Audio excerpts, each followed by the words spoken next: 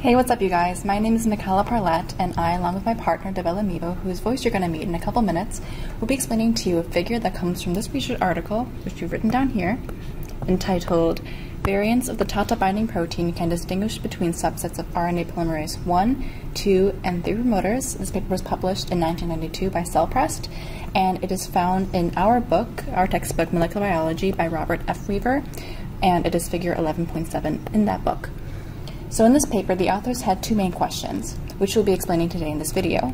Uh, question one is, is TATA binding protein needed for transcription by all three RNA polymerases? And two, is TATA binding protein a, a universal transcription factor? So if you're interested in learning a bit more about our friend TBP and the answers to these questions, please keep watching. Uh, additionally, I'd like to recognize that this video is being made for um, MCDB 427 Molecular Biology at the University of Michigan. All right, so look, look at the itinerary for today. Um, so we already delivered our introduction. I'm going to give you guys some background on TATA binding protein and eukaryotic RNA polymerases.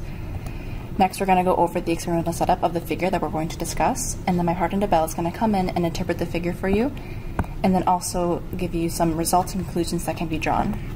If you like this video, please leave a like and watch other videos produced by University of Michigan students. So let's get into TATA binding protein.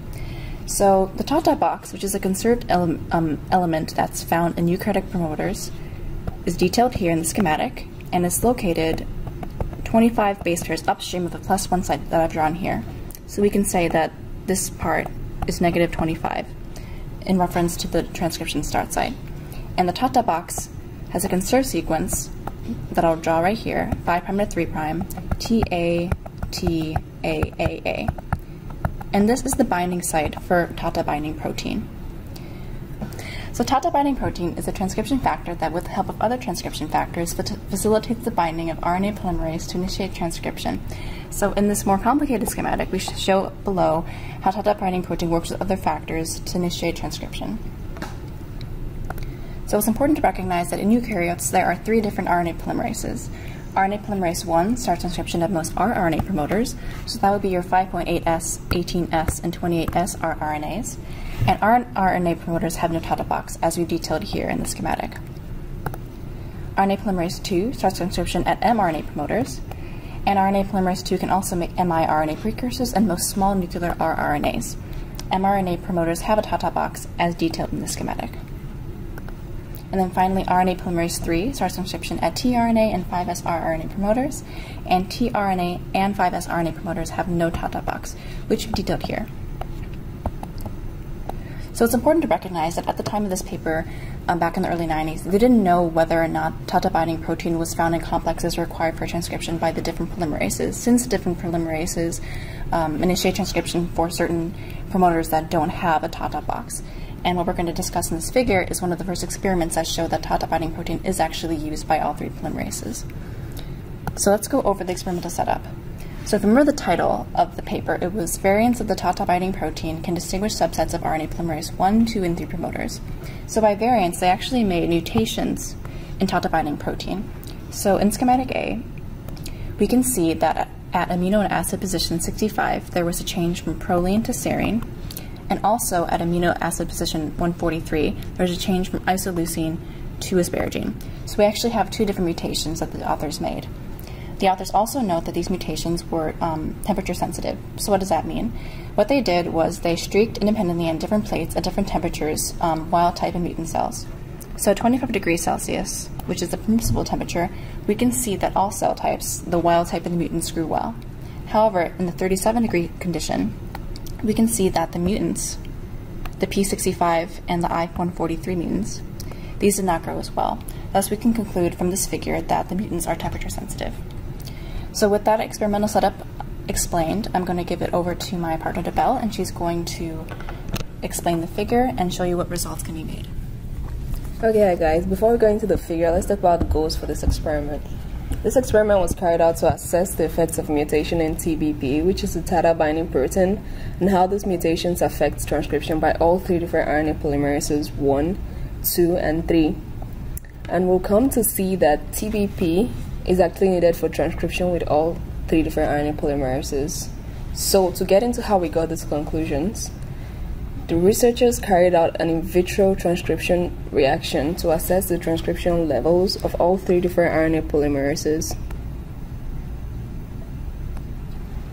Therefore, four different uh, in vitro transcription reactions were carried out with RNA polymerase 1, which transcribes yeast rDNA, which has no TATA box, RNA polymerase 2, which transcribes yeast CYC1 promoter, which has a TATA box, and RNA polymerase 3, which transcribes the yeast 5S ribosomal RNA promoter and the yeast tRNA leucine 3 promoters, which have no TATA boxes.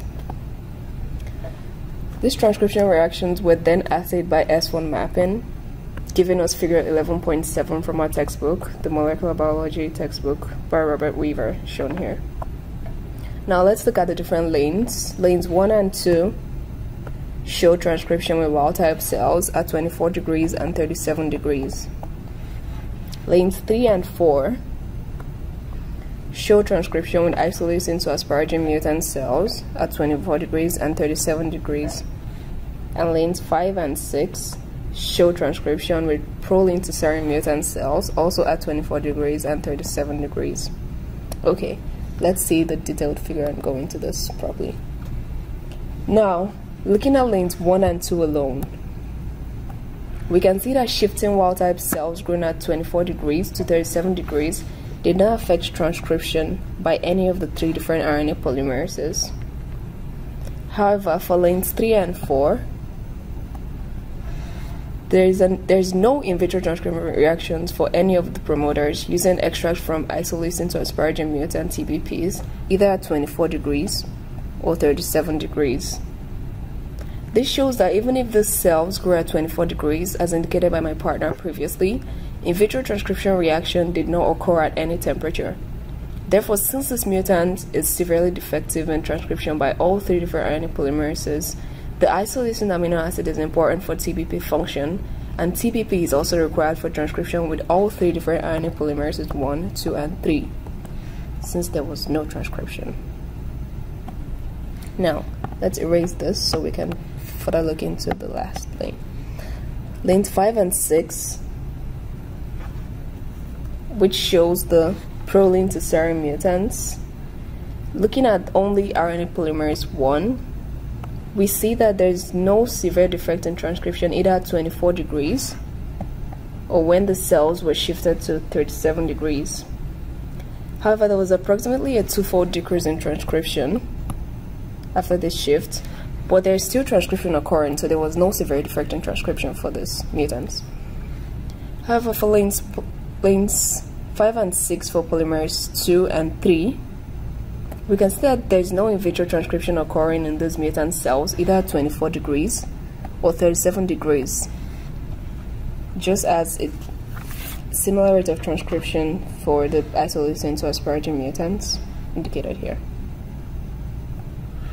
With this, we can say that this mutant was severely defective in transcription with RNA polymerase 2 and 3, but not RNA polymerase 1. So TBP is used differently for polymerase transcription for polymerase 1 versus polymerases 2 and 3. Okay, now let's go into the conclusions for this experiment. Okay, with the data I just showed you right now and all the previous figures my partner has gone over, we can make two conclusions. One, that TBP is required for transcription with all three different RNA polymerases, despite the presence or the absence of a TATA box, which makes this a universal transcription factor.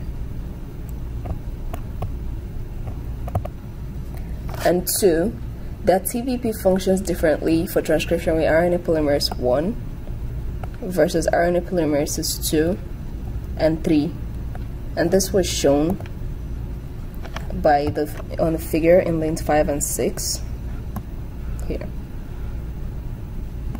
Okay, with that, I would like you guys to check out the S1 mapping experiment if you don't understand how this works. And if you want to understand how the researchers did this experiment, you could go check out the paper my partner presented in the introduction by Schultz, Reeder, and Hahn. Thank you guys for watching this video, and I hope you understood everything we said and enjoyed this video. And with that, go blue. Go blue!